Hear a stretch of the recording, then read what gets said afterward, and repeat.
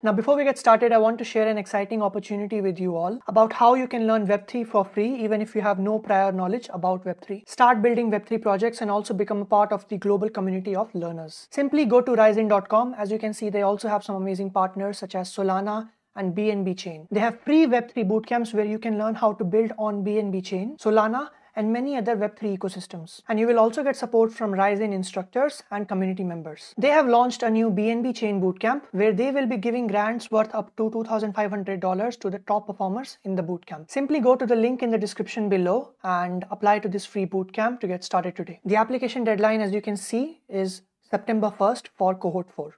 Good luck. Hey everyone, welcome back to my channel and the new video and in this video I'm answering one of the most asked questions that I get from students is how do you how do you balance uh, college studies, development, data structures, algorithms and all sorts of things together. So one thing I want you to realize is uh, point number one which is an important one, college studies are not a waste of time. I know sometimes you may get into a college where you don't feel like you're learning enough things be that you don't like the way the professor is teaching you. And sometimes i've seen that like some professors don't know how to teach uh, even though they may have like all the phds and everything but they fail in uh, grasping the attention of the student and they're just teaching for the sake of teaching.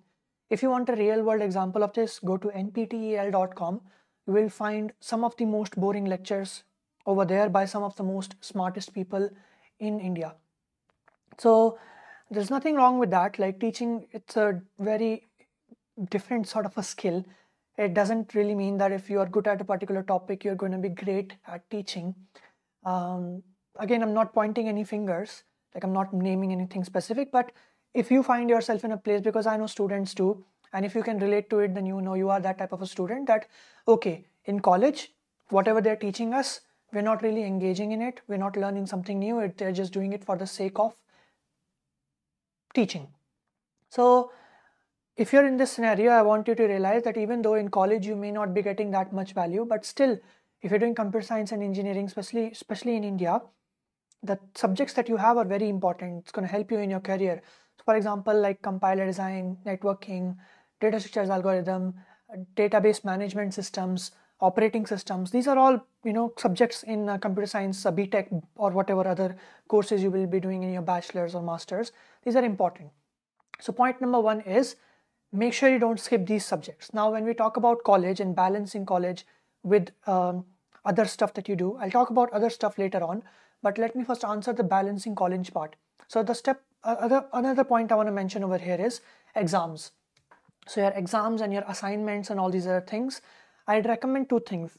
So first is the college subjects that are important to you in your career. There are two types of subjects in computer science in BTech in India. One which are really important, like the ones I just mentioned. One that are not very important and are waste of time. So, for example, metallurgy, chemistry. You're not going to use that when you're coding. You know, in no job in computer science you're going to use metallurgy. So, ideally for these sort of subjects, I'll recommend just pass try to do popular questions write anything or something like just try to pass try not to get back give some mock tests and try things like that so just your priority focus should be passing not getting the highest grade. And for subjects that are important to you learn with passion. And it's not like so when i was in university i was not like oh database op- database management like dbms operating system these subjects are going to be in my sixth semester. So I'll, i will learn these subjects in sixth semester. No I learned these subjects in like second semester itself because I was interested in it. So try to develop that interest and when then you give exams, your grades will be better because you're really passionate about it. So every college has a different, you know, grading criteria or whatever. So try to learn how your college grades papers and try to make the most out of it. That was about balancing college.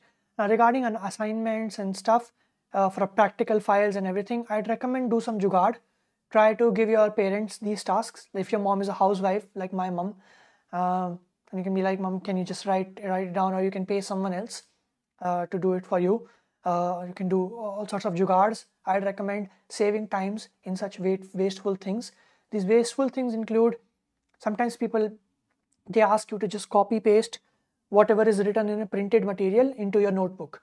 Sometimes people even ask you to write code in your notebook, hundreds and hundreds of pages. Please don't do it. Waste of time. And uh, i'd recommend uh, giving the outsourcing this to someone else. Maybe someone in your relatives or someone who can help you and uh, it's really not a not at all beneficial. And uh, try to eliminate such things. Now balancing another now second another point is which is most important and the most curious one and where people struggle with most is attendance. So 75% attendance i've made a video on this in my hindi channel you can check it out how to balance 75% attendance. I'd recommend two things. Thing number one is proxy like you can have proxy or you can try to maintain try to think of 75% attendance as glass full by 3 by 4 so even though you have 75% mandatory attendance you also have 25% flexibility. Like 25% you can take leaves. Try to take those leaves in such a way that you get the entire day off you know? So let's say you have a metallurgy lecture on monday and you have a metallurgy lecture on friday. And on monday you have five other lectures and on friday you have only two other lectures. So you will skip metallurgy lecture on monday or friday? You will skip it on friday. You will try to delegate and skip all the lectures on friday so that you get the entire friday off. And then you can do your studies. And you have your weekend by yourself as well. Uh, so you can do that. Try to again it depends on college to college. So try to find these jugaads in hindi we say. Uh, sometimes you can get involved in some technical societies that give you flexibility or attendance and stuff like that so proxy finding jugaads and making use of like taking it an optimistic approach of the 25% criteria like okay if you have 25% you have free one more thing i'd recommend for balancing this attendance thing is um, try to wake up early and go to bed earlier so most people they burn the midnight oil. In the end, see you can do whatever you want. I'm not judging anyone. I used to do it as well, burning the midnight oil, coding uh, very late, and waking up very late, or not prioritizing my health. I don't think it's not it's worth it. Ideally, I would say just try it for two, three weeks or one month at least. Try it for one month. Wake up at 4 a.m. and sleep at 8 p.m. Eight hours of sleep.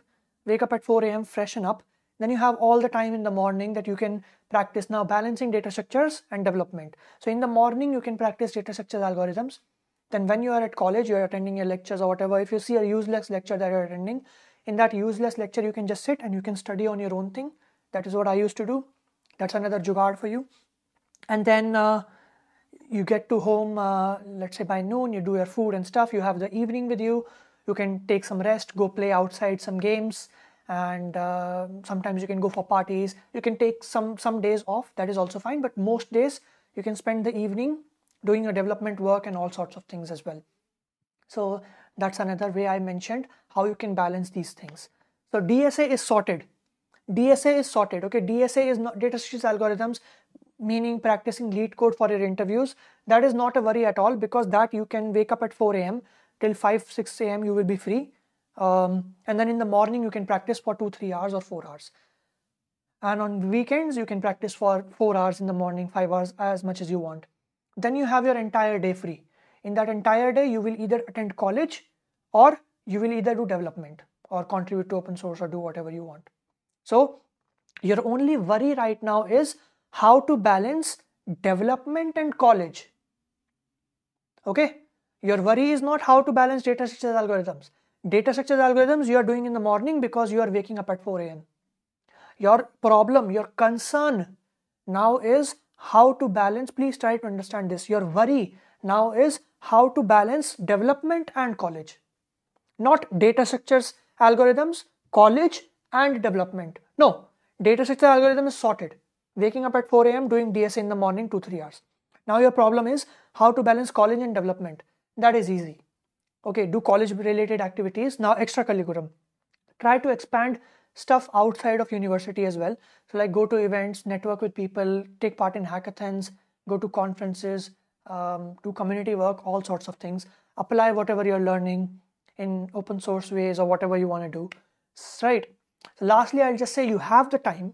Even if you have 75% attendance criteria your problem was dsa development college now your problem is reduced to development and college. I think that's not that difficult. You can balance development and college together, even if you have 75% attendance criteria. and the solution for that is make a timetable. Speaking of learning in public, one of the ways you can maintain consistency is by writing blogs, starting your personal newsletter. Starting a technical blog is one of the best things you can do for your career as a student. Literally, it converts into job opportunities. You will find plenty of examples on Twitter.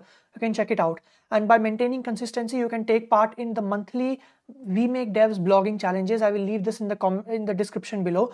You can win some exciting prizes. Like this month, we're giving away a gaming monitor, and uh, you have to write about let's say technical writing and all sorts of things how to take part all the steps are mentioned over here like kunal how will you find our blogs to give us prizes as you can see keyboards and uh, headphones air jordans we get really creative we give away all these amazing prizes so do take part in it it's free you can win some exciting prizes and swag and this month's prize which is for august you have 12 days remaining for gaming monitor please take part in it. It's very easy to write a blog. All you have to do is write on Hashnode and share with hashtag WeMakeDevs in the Hashnode and on your social media. And you can take part as many times as you want. And you have nothing to lose. In the end, you'll be just making and building your portfolio. So check it out. It's amazing. Thanks a lot for watching. Uh, it's going to be okay. Don't worry about it. Just have fun while you're doing it. And check out the links in the description below. And uh, if you have any questions, leave those in the comment section below. And I will see you in the next one. Have a great day.